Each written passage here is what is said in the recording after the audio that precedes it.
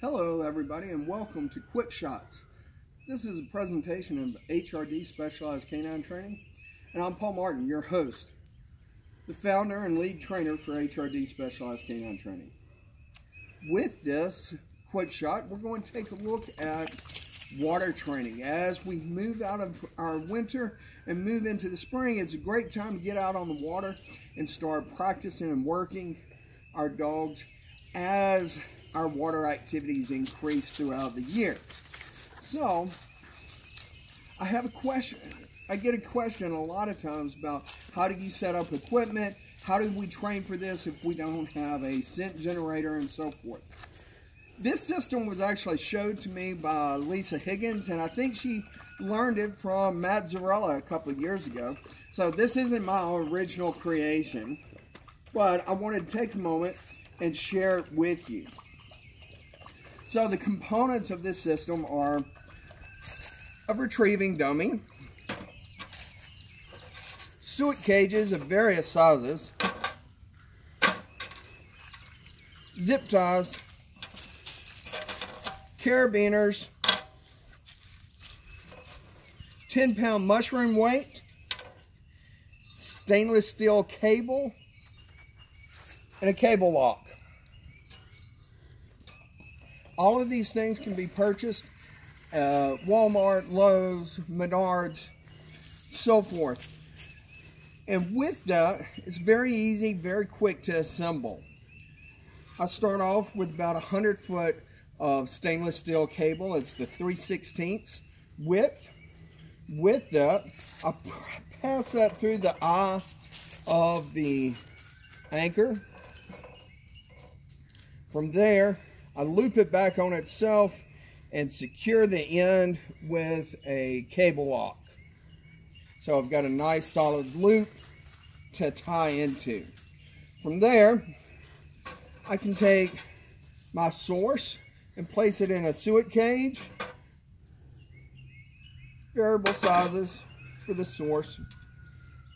What I like to do then is secure that suet cage with zip ties so that it doesn't come open while it's submerged.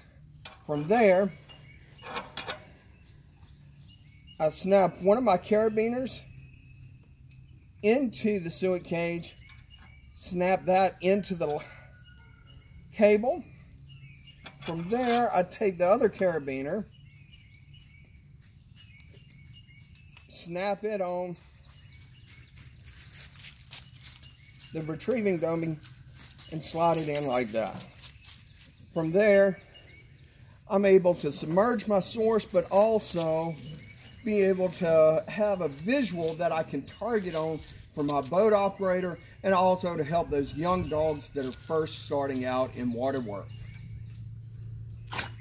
As our water work progresses, we can then relocate that suet cage off the cable itself.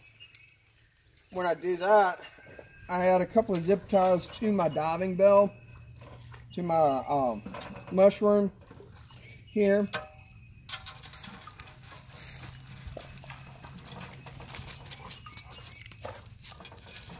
Just like that.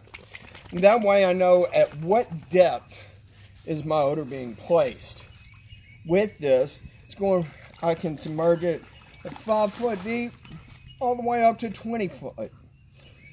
In doing so, that's going to create a wider odor cone for the dogs to have to work. Now what I do with my cable is I now hook my retrieving dummy straight into the cable. That way again I have my center point target but as the dog progresses we can now completely submerge that and have our source secured, anchored in one place because we can now take this cable and tie off to the shore. So, if you have any questions about this setup, please put them down in the comment section. I will respond to those. And in closing, I would like to invite you to check out our monthly trainers forum, and our various webinars that we offer throughout the year. Thank you and have a great day.